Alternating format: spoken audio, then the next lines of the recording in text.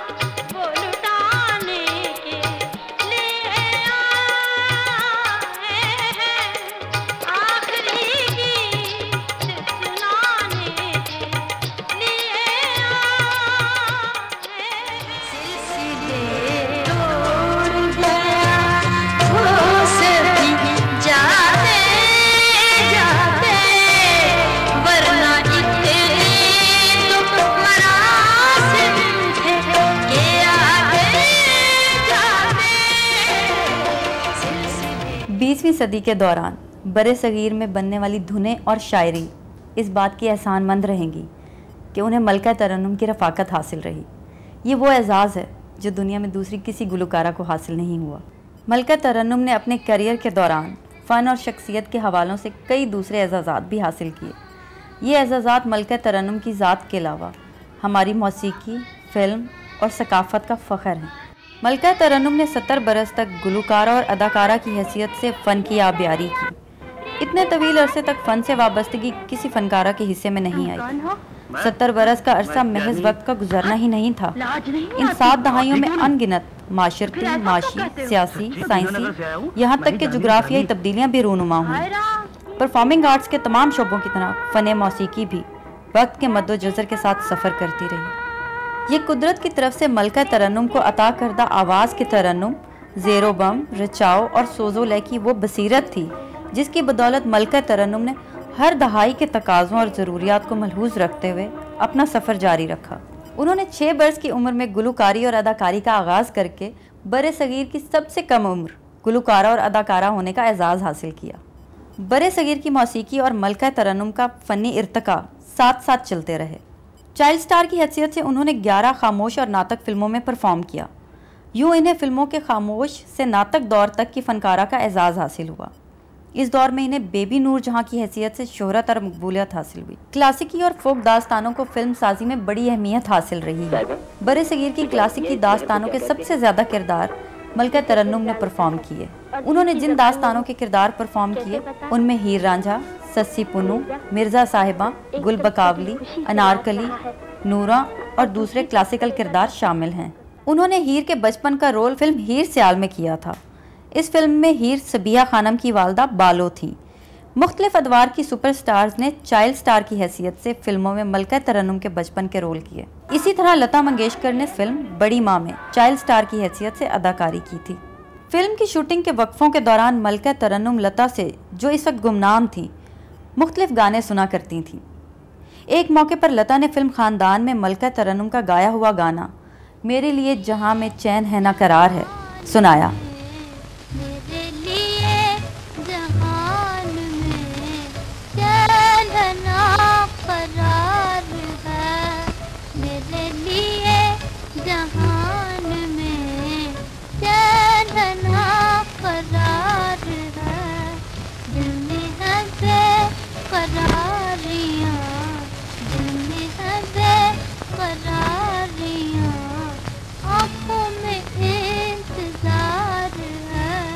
یہ گانا سن کر نور جہاں نے ہدایت کار وینا نائک سے کہا کہ دیکھیے گا یہ لڑکی ایک دن پوری دنیا سے اپنے فن کا لوہا منوائے گی۔ ملکہ ترنم نے بمبئی کلکتہ لاہور کے علاوہ رنگون اور برما میں بننے والی فلموں میں بھی کام کیا۔ مکتا یہ دیکھو یہ چاند کتنا اچھا لگ رہا۔ ہے بیچارہ۔ بیچارہ کیوں؟ اس لیے کہ اس کو بھی کسی سے محبت ہوگی۔ ملکہ ترنم نے بولی ووڈ کے ہر بڑے فلمی گھرانے کے اداکار کے مقابل پرفارم کیا۔ فلم مرزا صاحبہ میں پرتھوی راج کپور کے بھائی اور راج کپور کے چچا ترلوک کپور ان کے ہیرو تھے۔ تم نے اس کے سامنے میرا ہاتھ پکڑ لیا۔ وہ سب لوگوں سے جا کر کہہ دے گا ہمیں بدنام کرے گا۔ یہ تم نے کیا کیا؟ کچھ نہیں کیا۔ جیسے بچپن میں کھیلتے تھے ویسے اب بھی کھیلتے ہیں۔ وہ بچپن تھا یہ جوانی ہے۔ بچپن میں جو کھیل ہوتا ہے جوانی میں وہ آگ بن جاتا ہے۔ پاکستان کی پہلی خاتون ڈائریکٹر ہونے کا اعزاز بھی ملکہ ترنم کو حاصل ہے۔ وہ چنگی طرح جانتی میں چنگی طرح جانتی وہ چنگی طرح جانتی میں چنگی طرح جانتی جھوٹی موٹھی ساڈے اتوں۔ وہ جھوٹی موٹھی ساڈے اتوں جند پہ آوار نہ موٹھی ساڈے اتوں۔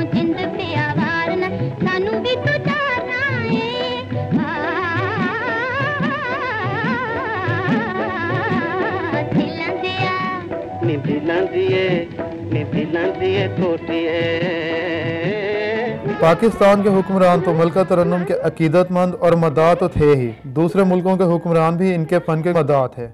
مثال کے طور پر بھارت کی وزیر اعظم مسز اندرا گاندھی۔ ان کی بے پناہ پرستار، مداح اور عقیدت مند تھیں۔ بھارت کے دورے کے دوران ملکہ ترنم کو راشٹرپتی بھون میں مدعو کیا۔ سروں کی ملکہ اور سیاست کی ملکہ کے درمیان طویل ملاقات رہی۔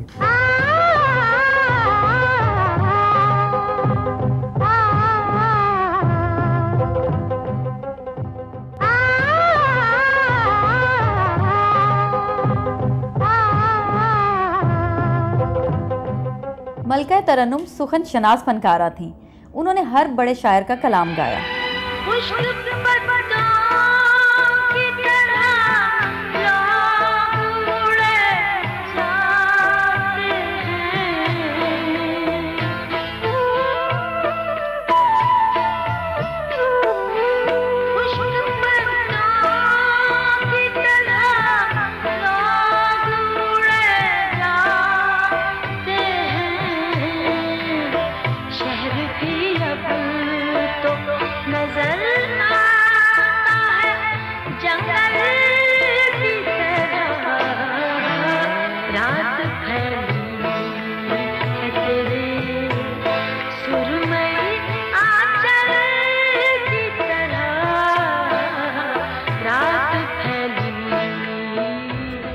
فیض احمد فیض کا کلام گانے والی پہلی گلوکارہ ٹھہری۔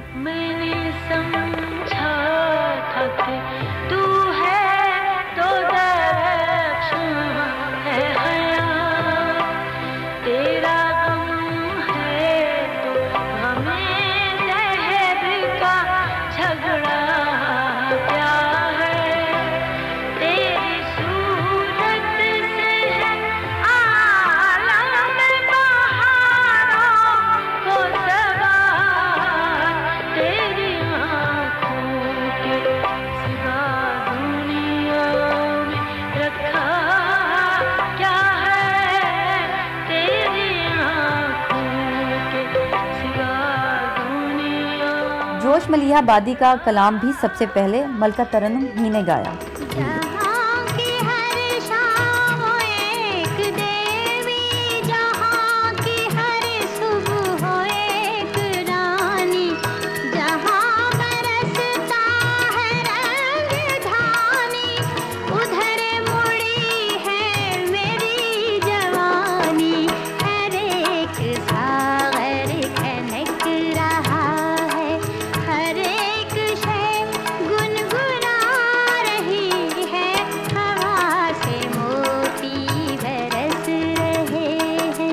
احمد فراز کی غزلوں کو بھی ملکہ ترنم نے عوام تک پہنچایا۔ اس کی وہ جان، اسے پاس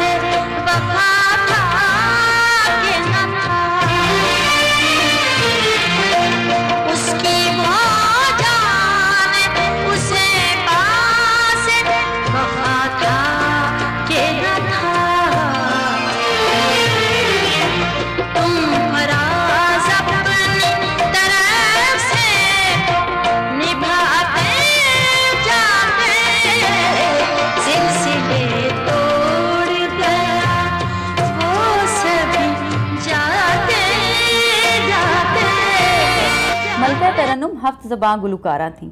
انہوں نے سات زبانوں میں گانے گائے۔ ان زبانوں میں اردو، پنجابی، پشتو سرائکی فارسی، عربی اور انگریزی شامل ہیں۔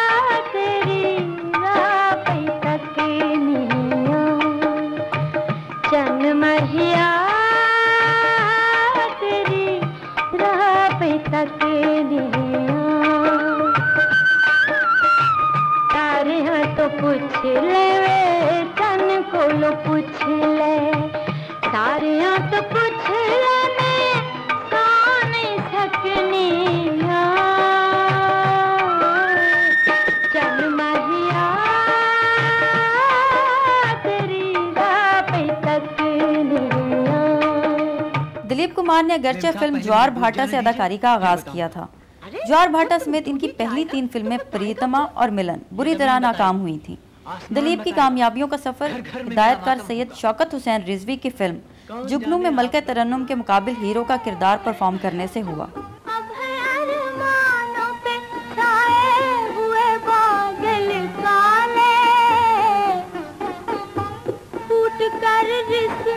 لگے ہیں میرے دل کے تالے۔ پھوٹ کر رسنے لگے ہیں میرے دل کے تالے۔ آنکھ بھر آئی چھلکنے کو ہے اب یہ پیالے۔ آنکھ بھر آئی چھلکنے کو ہے اب یہ پیالے۔ ملکہ ترنم ایک مجاہدہ بھی تھی یوں تو وہ ملک و قوم کو درپیش ہر آڑے وقت میں خدمات کے لیے پیش پیش ہوا کرتی تھیں۔ لیکن پینسٹھ کی جنگ کے دوران ثقافتی محاذ پر ان کی خدمات ہماری قومی اور عسکری روایت کی ناقابل فراموش مثال ہیں۔ کسی جنگ میں ثقافتی محاذ پر نبرد آزما ہونے والی وہ پہلی گلوکارہ ہیں۔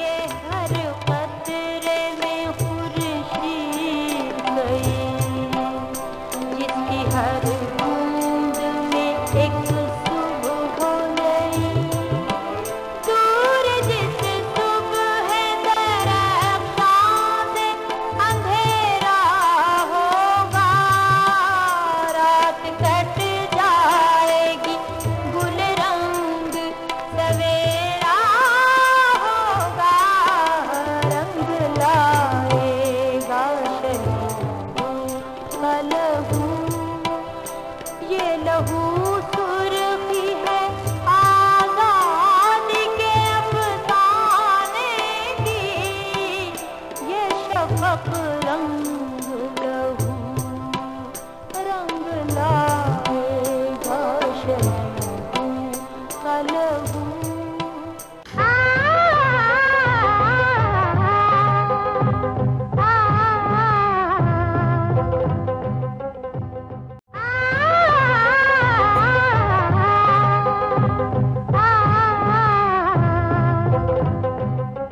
ملکہ ترنم نے موسیقی اور گائیکی کی ہر سنت میں گلوکاری کی۔ کلاسیکی نیم کلاسیکل ہلکے پھلکے گیت، غزلیں، کافیاں، نعت، ڈسکو، قوالی ٹھمری دادرے، صوفی سٹائل اور دوسری اصناف کی گلوکاری پر یکساں مہارت رکھتی تھیں۔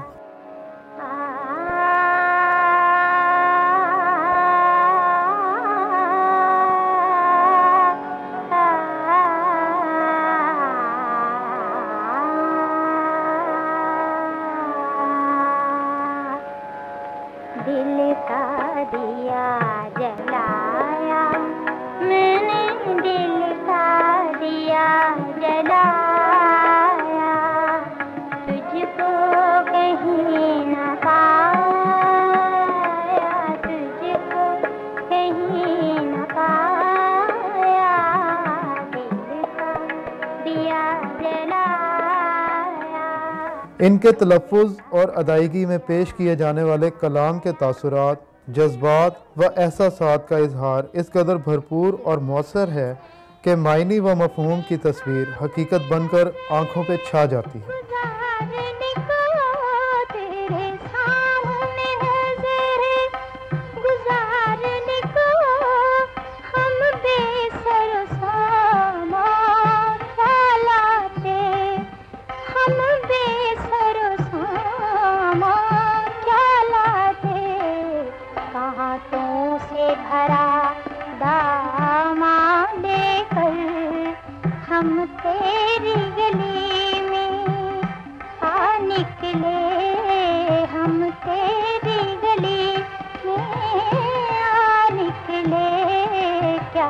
جانے کیا ہے؟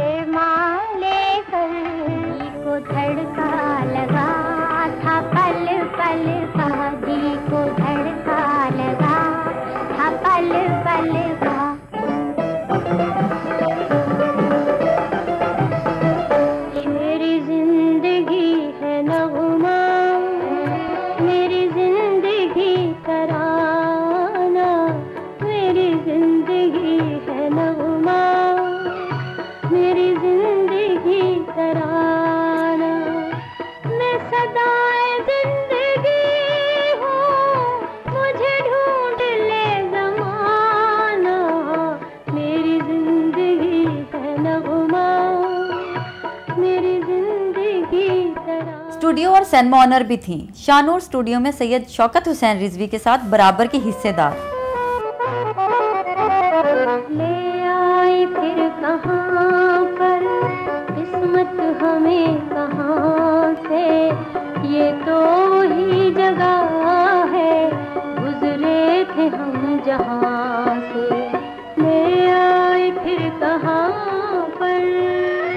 شاہ نور کا نام سید شوکت حسین رضوی اور نور جہاں کے ناموں کی مناسبت سے رکھا گیا تھا۔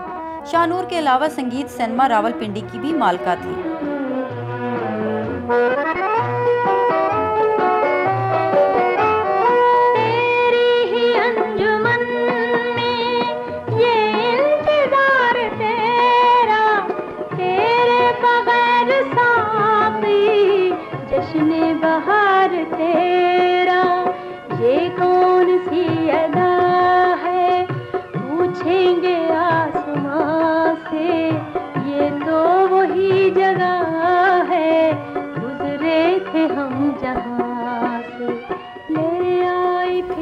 ملکہ ترنم کا انتقال بھی اعزاز کے ساتھ ہوا۔ وہ تیئیس دسمبر دو ہزار کو اپنے خالق حقیقی سے جا ملی۔ اس دن رمضان المبارک کی چھبیس تاریخ تھی۔ اور انہیں ستائیس رمضان المبارک یعنی شب قدر کی رات سپرد خاک کیا گیا۔